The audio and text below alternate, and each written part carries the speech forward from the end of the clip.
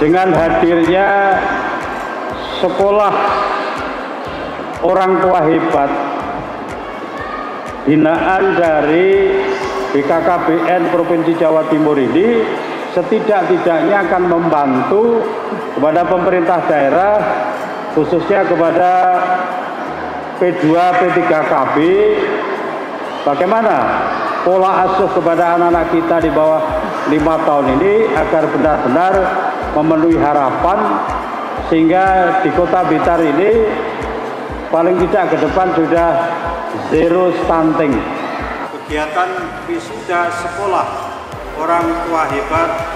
pada hari ini Selasa tanggal 26 Maret tahun 2024 secara resmi saya nyatakan dibuka dan dimulai.